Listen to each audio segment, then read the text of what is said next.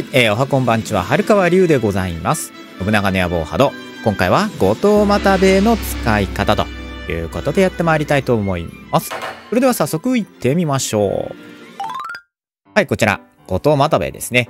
屋敷レベルが16になると出てくる選抜応用の武将でございます。それでは早速中見ていきましょうね。えー、っと、ここだ。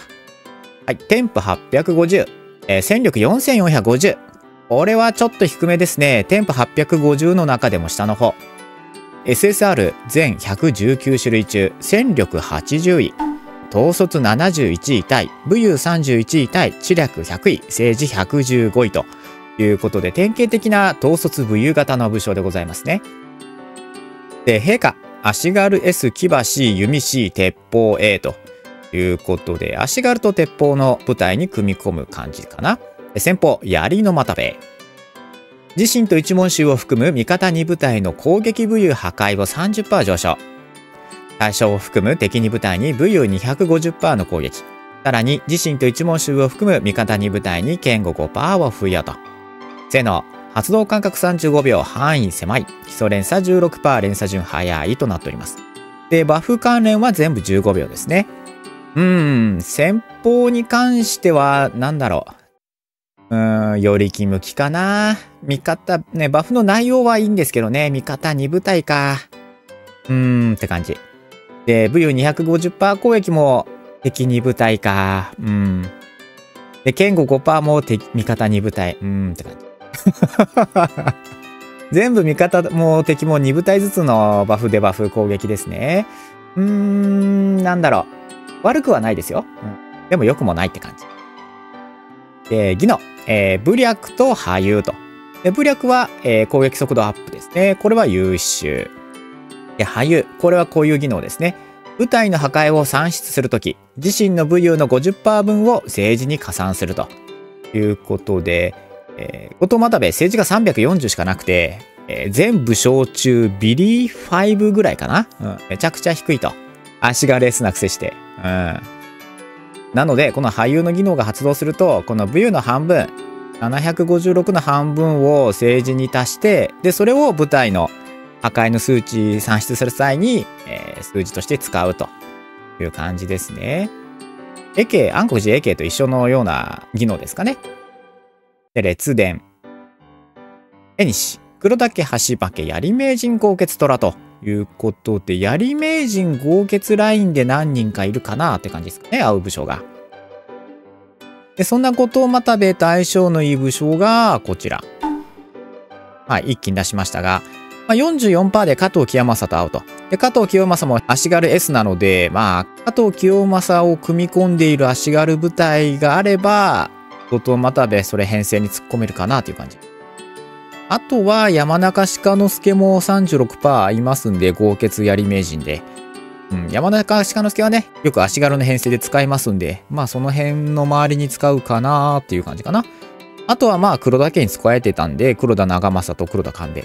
ただ黒田長政とはめちゃくちゃ仲悪いはずなんですけどね。まあしょうがないか。黒田家橋場家であって32%まで一応行きますと。だったら真田幸村福島正則か。まあ、この辺もまあ、うーん、牙でほとんど使うからな、この二人は。まあ、後藤又兵衛と合わせることはあんまねえかなっていうか。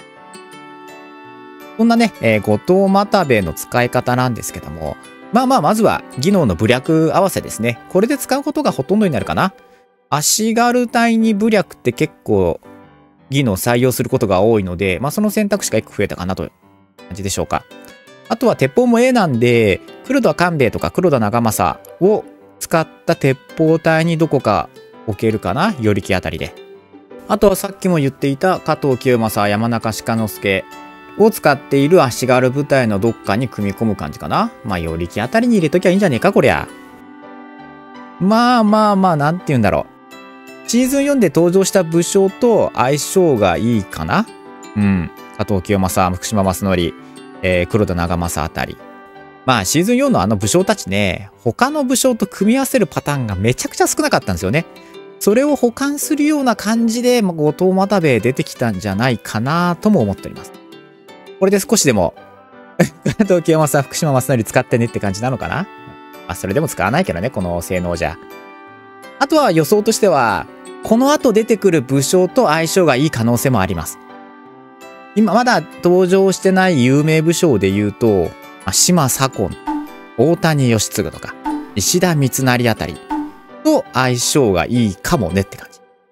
来週の3月26日の火曜日かな？に生放送ありますんで、まあ、次、新しい新武将の発表もあるでしょう。まあ、その武将と相性がいいかもね。まあ、島左近出てきたらちょっと熱いかなっていう気がします。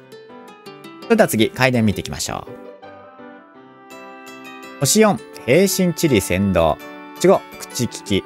星6、栄宝中石。星7、希望特感。うん、微妙。うん、微妙。で、秘伝。えー、防御の加護。えー、レベル5になりますと、先方の攻撃力プラス60%。で、以下の効果を追加。自部隊の防御を35%上昇15秒。これはまあまあな秘伝ですね。槍名人高血虎という絵西条件なので、特にね、待ち伏せ特化の足軽部隊の大将につけると、これは強いかなっていう感じで、うん。うーん、こんな感じか。まあ、課金しなくちゃ手に入んない武将ですからね。うん、ちょっとその課金してまで手に入れたいっていう感じではないかな、今のところ。まあ、次出るね、武将との相性がどうとかいうところもありますけども、まあ、選抜投与の期間短いんでね。待ってらんないって感じ。まあ、秘伝用に取っとくっていうのはありかもしれませんね。はい、それでは以上でございます。後藤又兵衛の使い方でございましたと。これでシーズン6で登場した武将は全員紹介できたかな？あとは次の生放送でどんな新武将来るかなっていうところですかね。はい。それでは時間少し余ってますんでまたガチャやっていきましょうか。えー、っとですね、名称東洋城が41枚ありまして、あと38回で添付900ゲットっていう感じなので、これちょっと目指してやっていきましょうか。38回か。えー、まず8回やろう。さあ、SSR は出てきますよ。うん、まあ欲しいところで言うとですね、やはり、真田幸村、本田忠勝あたりが欲しいんだかな。真田信之が出てきても使いどころは私あります。うん、弓特化でやってます、ね。さあ、ここ、誰が出るんだい？うさみちゃん。うさみちゃんはちょっと変換しちゃおうかな、もう。はいと。あとは、えー、30回で、えー、添付が確定なんで、どんどん引いていきましょう。雪村あるとな、ちょっとな、来シーズンの編成がまたガラッと変わるんだよな。なのでね、なんとしても今シーズン1枚は、真田幸村引いときたい。さあ、2人目、SSR。お、信人とか。